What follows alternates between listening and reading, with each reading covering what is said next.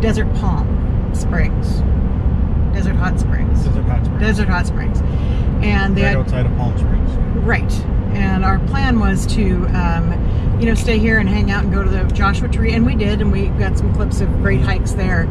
But um, we're kind of glad to be getting out of here. A little bit, yeah. Yeah. Um, the weather's been beautiful, but boy, you know, first of all, everything's super expensive. Well, particularly gas. Gas is at least a, dollar, or diesel is yeah. at least D- diesel is basically five dollars a gallon. Five dollars a gallon. It's just, it's crazy expensive. Um, the other thing that we've noticed almost as soon as we cross the border is people throw their trash out the window. Every Garbage everywhere. garbage everywhere, and it's it's like when you get to the shishi neighborhoods of Palm Springs, there's not a blade of grass out of place. But when you're just in regular town, uh, just as we're driving along here, there is, and it's not the kind of garbage that blows out of the back of your pickup truck accidentally. I mean, there's couches and old dead RVs, and just people drive crap out into the desert and just dump it, and it's like complete disregard for the the land and the people living there. And we, we heard somebody else talking saying that it's not just here, but it's in other places in California the same way when Yeah. they went to different places. So Not that I would have expected that, because No, I don't know. no. uh, California's supposed to be, it's sort of in my mind, it's the land of healthy and clean and environmental right, and all that kind of stuff. right. And I'm telling you, there isn't a stretch on the on the freeway or on the roads that we've been on, other than in when you're kind of in the ritzy town part of Palm Springs. There's not a, a, a piece of ground that hasn't got some kind of garbage on it, and um, it's it's just it's kind of disgusting. So, don't want to label the entire state as being slobs, so we're not going to. But no heartbreak about leaving here. So, we've also changed our direction, and we're heading instead of back towards uh, Tucson, which was our plan. Uh, we decided to go to Lake Havasu, and so that's where we're going today, and maybe we'll find something fun. Yep. So that's that's one of one of the benefits of not having reservations or committed to different places. We can change our mind on a moment's notice. we will figure out what we want to do there Yep. and how much time we want to spend there and we'll share with you what we learn about lake havasu Yeah. so until then see you later so So so we are on an adventure yes, we are. And we're still in lake havasu don't know if we've told anybody that yet or not a little bumpy bumpy. Um, we're in Lake Havasu, which has been a surprisingly kind of fun town. There's a lot going on here um, that we weren't anticipating. know. No. And so we're having fun. So we are on our way right now to the Winterfest Pyrotechnics something. Convention. Whatever. and basically they do this every winter and it's just a huge it's it's people who um, do pyrotechnics for a living and they come and they do this convention but then spectators get to enjoy watching fireworks three or four nights in a row Yep. this is our first night going so we don't know but it should be pretty impressive We've we've we've been told. Someone told us the other day that it's like they said. Imagine the best um, finale fireworks you've ever seen, and then see one after another after another another of those. cool So we'll see if it lives up to that kind of hype. yeah Um, but we're kind of excited to see what's going on. We are. And so we've got kind of a busy uh, weekend coming up with a bunch of fun stuff, Mhm. but we'll be capturing the uh, pyrotechnics tonight on the on the video for people, and then we'll just show you some other surprises tomorrow and other fun stuff Yep. we're going to be doing. So um, the line is starting right now to get into there, so we'll uh, keep you informed on what's happening. By the way, I'll show you people like to do dispersed camping here uh, for a variety of reasons. Obviously, we've talked about before how cheap it is. Here's somebody camp- camping up. They're camping up on the hill. It's all within walking distance of this um, the pyrotechnics place, which is at the Walk, walking and viewing distance, so they don't even have to walk. right. can They, they don't even have, so they can just sit up here by their rigs. And these are people that are all boondocking. We are also in a boondocking. Uh, there you can see them up on the hill there. We're also in a boondocking spot, which is, well, see, those folks are enjoying the view right from there with their own beverages and their dog. we are in a boondocking spot too, which is very convenient to Lake Havasu. We're like five or 10 miles from Lake Havasu, um, but it is a giant gravel parking lot. Yep. But the people are friendly Yes. and it's quiet at night for the most part, and so no complaints. All right, we're going No. into the speedway, which is where it's going to be. Just We'll keep you posted.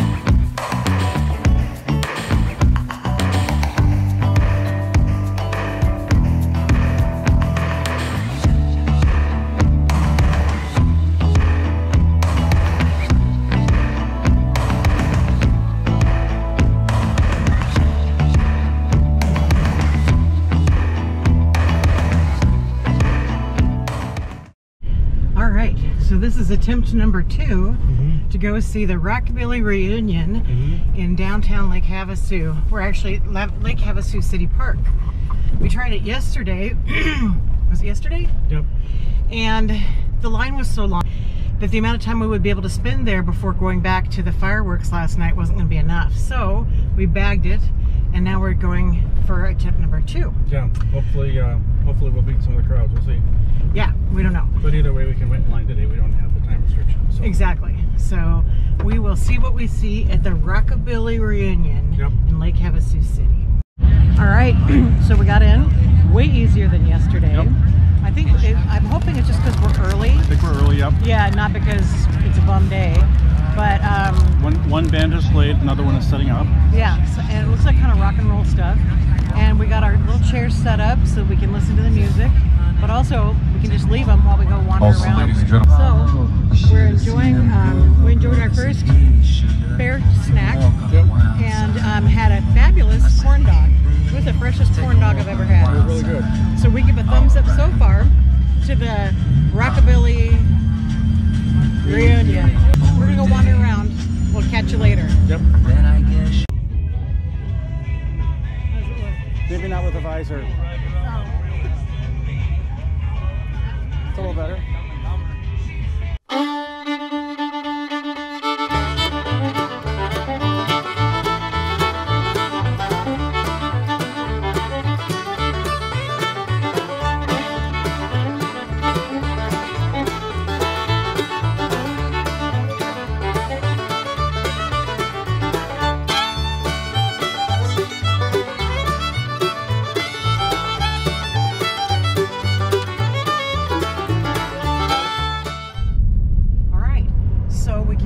Adventure without doing a debrief afterwards.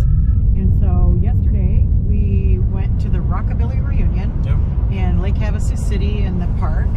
What was your assessment of our experience there? Um, it was good. It was clearly not the day to be there. Saturday when we went, there was huge, a huge line to get. I'm guessing there was a lot more people there then. Mhm. Um, so it was pretty, pretty sparsely uh, attended yesterday. I mean, I don't think that probably really affects the music at all. Actually, I was thinking that um, it might have been a better day to go on Sunday than Saturday Uh-huh. because it wasn't as crowded. Right. And I assume it didn't affect the number of bands that were there and the merchandise that was there. Yeah. But it was not crowded at all. We had plenty of space. You didn't feel like you were like in line for a lot of stuff. No, Uh, so we never, we never really waited in line at all. no, we didn't. We did have an excellent corn dog. Mm-hmm. Um, and the bands were enjoyable. Um, but the bottom line is, I think it was too expensive. Yeah, but it's something to do for a day. So Yeah, I don't regret it, No. but I but I don't think it was worth. We paid twenty five dollars each to go in, so fifty bucks to go in and listen to a few bands and look at um, some T-shirts and um, other merchandise. I'm glad we went, but it, w- it wouldn't rank high on my must dos No, um, for no. for Lake Havasu. To your point earlier, though, The, Definitely. pyro- the pyrotechnic show was definitely, uh, a must see yeah, from the must see. grandstand. Yeah. Yeah. So we are in SARA Park. SARA Park outside of Lake Havasu, and um, it's been flipping windy for the last three or four days at least, Mhm. like 40 mile an hour winds. So we haven't really wanted to get out. Now we're just stir crazy. Still a little windy, but not bad. However, we have got this little park right near us, and the thing is, it's kind of a gravel pit, but as gravel pits go, Nice gravel it's pit. kind of a nice gravel pit.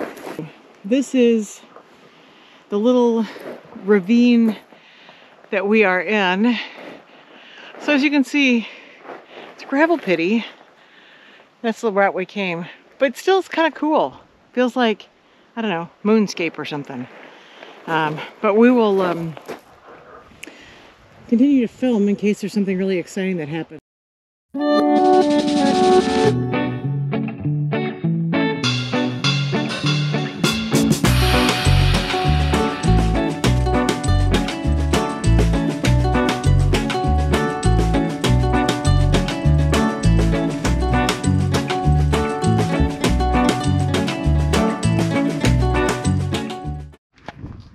All right, apparently we are on a hike called the Crack, and looks like it's aptly named. So Tom is going to venture forth down this thing where there's actually a rope anchored up here for people who are either going down or going up. So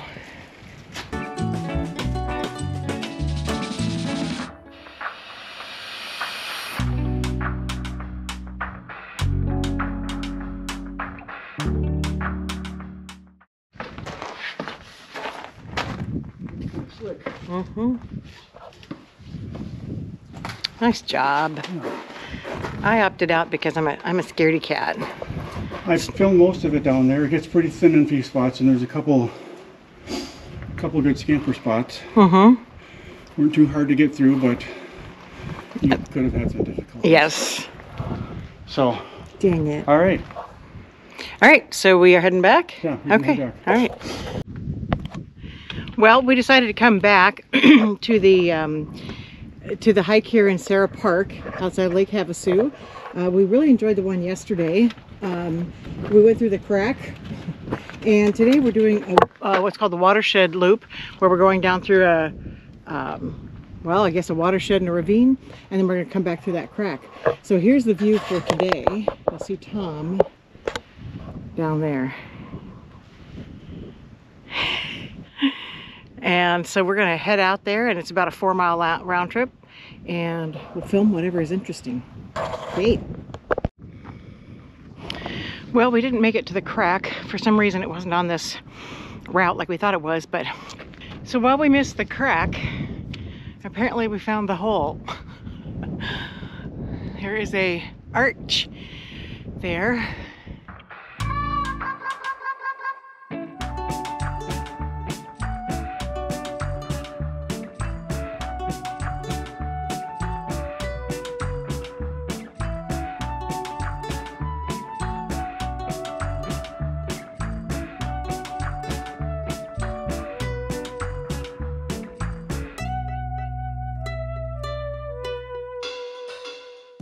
It appears that we might have stumbled upon the advertised crack. It just uh, might be a different one, perhaps. We don't know. So we're going to explore into this little uh, slot canyon.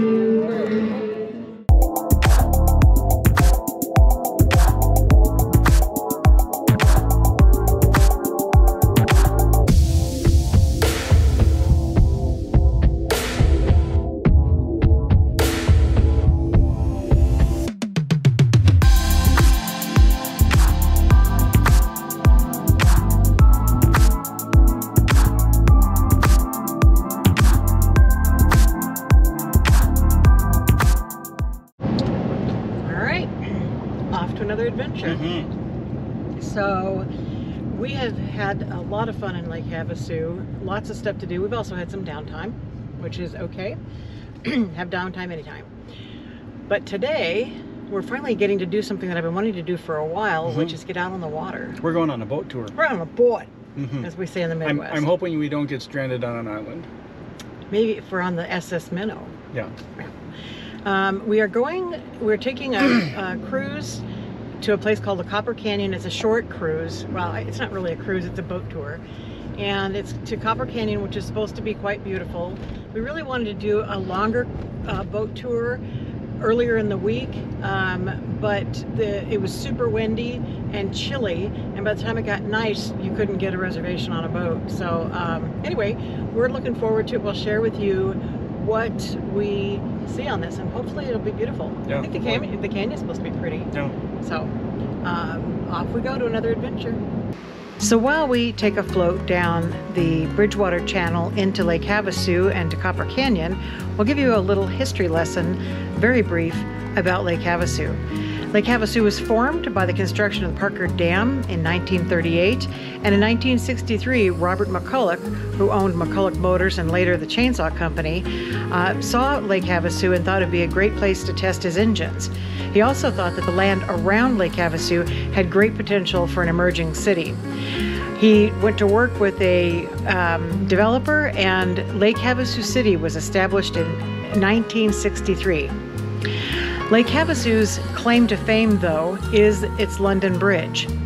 By the end of the 18th century, the old London Bridge in London needed to be replaced.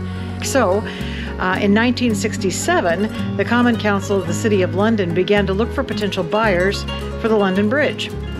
As Lake Havasu City's founder, the chainsaw magnate, Robert McCulloch, saw a once in a lifetime opportunity. He believed correctly, as history shows us, that reconstructing this massive icon in the new city would attract tourists and prospective buyers of residential lots.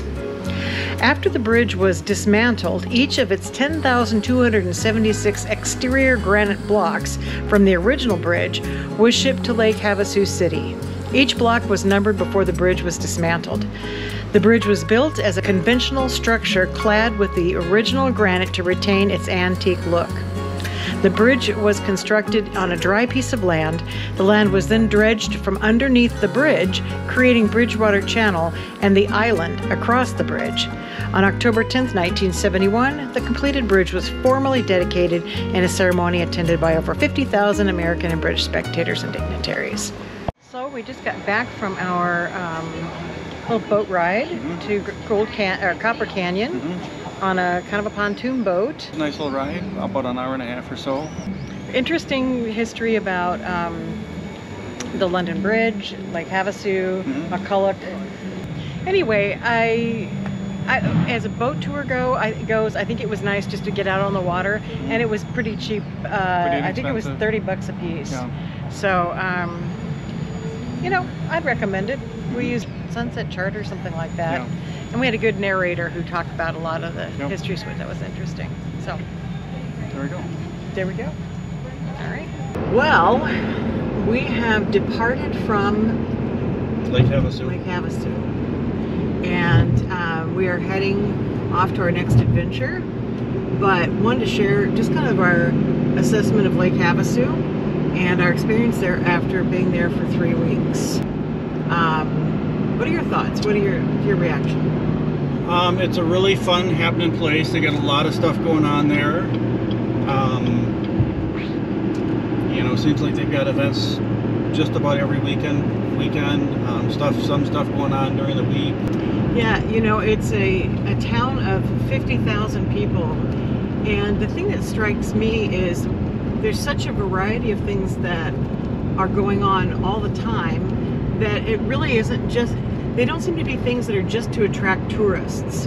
There's a lot of stuff that the people who live there would enjoy, like Oh, the yeah. pickleball courts, like the, there's, con, there's music all the time. There's a, the aquatic center there has pickleball, some kind of water entertainment, but they do concerts all the time. We haven't gone to any, but they are well rated. There's music all over the place. We um, went just walking downtown. There's bars with live music, and and we've gone to, as you know, we went to the Rockabilly reunion. Yep. There was a this last weekend. There was a bluegrass bluegrass festival, which we didn't go to because we did other things. But just the wide variety. We've been to the pyrotechnics show. We've been to hikes. Um, Yeah. So I would say that Lake Havasu is a place that is kind of a hidden gem, Yeah. and I would go back to this if we were going to be in this area again. Yeah. But if you if you want to go to a place that has a wide variety of things, has water, which really was nice to see from Yeah. all the desert stuff we've been at. But so we're off to the next adventure. We'll tell you what that is coming up. But for now, we bid a fond adieu to Havasu. Yes. There we go.